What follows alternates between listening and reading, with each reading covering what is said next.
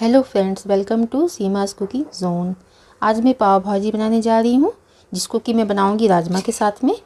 तो ये हो गया राजमा पाव भाजी। इसके लिए मैंने एक कप राजमा लिया, इसको मैंने रात में भिगो दिया था। फिर इसको खूब बढ़िया मैंने कुकर में उबाल लिया है, नमक और हींग के साथ में। उसी के साथ मैंने दो आलूओं को छील करके राजमा में ही डाल दिया था तो ये भी उसके साथ खूब बढ़िया उबल गए हैं। तो अब चलती है इसको बनाने। इसको बनाने के लिए मैंने कढ़ाई लिया है और इसमें मैंने थोड़ा सा दो चम्मच तेल डाल दिया है। इसमें मैं थोड़ा सा बटर भी डालूँगी। थोड़ा सा बटर मैंने लिया है, हाफ़ चम्मच लगभग। दोनों चीज़ें गर्म हो जाए अच्छे से। अब मैं इसमें एक चम्मच घिसा हुआ अदरक डालती हूँ। अब मैं इसमें एक प्याज डालती हूँ कटे हुए।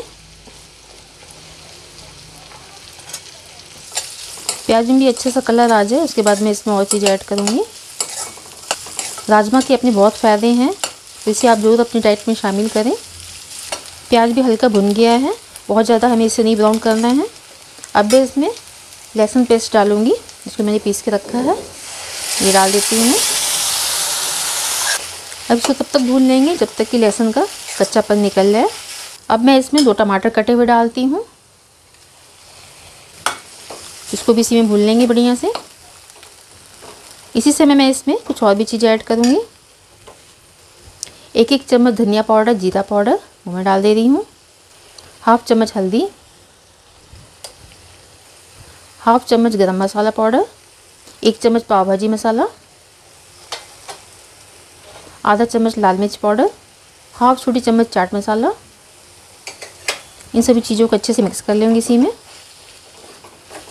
और टमाटर को बढ़िया से इसमें गलने देंगे और सब मसाले भी जब तक अच्छे से पक ना जाए, तब तक इसको बढ़िया से भूनेंगे। थोड़ी देर इसको ढक के पका लूँगी। अब मैं थोड़ा सा खोल के चलाती हूँ। थोड़ा सा मैं इसे पानी ऐड करूँगी। और खूब अच्छी खुशबू आ रही है। टमाटर भी अच्छे से पक गए हैं। अब मैं इसमें जो मैंने उबाल के राजमा रखा है, उसे डाल देती हूँ।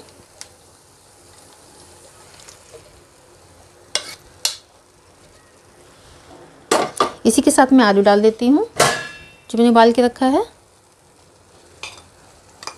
इसको मिक्स कर लेती बढ़िया से। अब मैं इसमें स्वाद के अनुसार नमक डालूँगी। साथ में ये भी ध्यान रहे कि राजमा को उबालते समय भी नमक डाला गया था तो उस हिसाब से नमक डालेंगे। अब मैं इसको थोड़ा सा मैशर से मैश करूँगी, जिससे कि सारी चीज़ें बढ़िया से मिक्स हो जाएँ। और जैसे पाव भाजी की भाजी रहती है, उसी टाइप से इसको बनाना है। एक बार इस तरीके का पाव भाजी बना करके देखिएगा, बहुत अच्छा लगेगा। और फ़ायदे तो इसको हैं ही। कभी कभी बच्चों को और बड़ों को भी राजमा खाना पसंद नहीं होता है तो इस तरीके से आप बना करके खिलाइए, उन लोगों को पता भी नहीं चलेगा, वो काफ़ी पसंद भी करेंगे। राजमा की तो भाजी बन करके तैयार हो गई, मैं गैस को ऑफ़ कर देती हूँ। अब चलते हैं पाव को सेकने। तो सबसे पहले पाव को इस तरह से बीच में काट कर लेंगे। अब गरम तवे पर सबसे पहले बटर डालेंगे।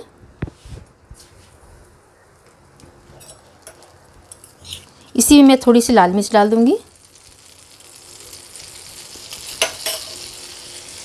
बस फटाफट से अपना पाव को इसमें रख दूँगी सेकने के लिए।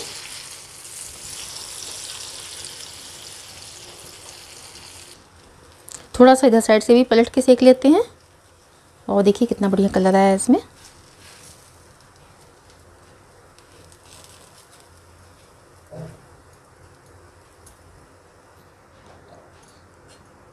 ये भी रेडी हो गया सीख करके। अब चलती हूँ सर्विंग प्रोसेस की ओर। तो ये देखिए गर्मा गर्म राजमा पाव भाजी बन करके तैयार है। आ रहा ना देख करके मुँह में पानी। इसे आप किसी भी ओकेज़न पे बना सकती हैं। चाहे बच्चों की बर्थडे पार्टी हो, चाहे घर में कोई फ़ंक्शन हो, उसमें आप बनाइए, सभी को बहुत पसंद आएगा। और मैंने इसे राजमा से बनाया है तो ये हेल्दी तो है ही।